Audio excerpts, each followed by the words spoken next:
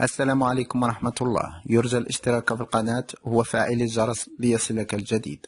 اليوم الأربعاء 15 ديسمبر 2021 نوافيكم بالحصيلة الكاملة فيما يخص الحالات المصرح عنها ونتائج المخابر الجهوية المعتمدة في التشخيص الفيولوجي لهذا المرض.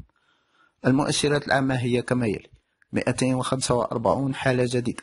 ارتفاع جديد 197 حالة. 196 حالة تماثلت للشفاء.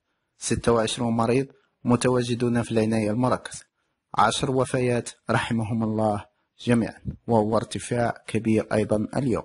الوضعية الحالية للوباء تستدعي من طرف كل مواطن اليقظة احترام قواعد النظافة والمسافة الجسدية الارتداء الإلزامي للقناع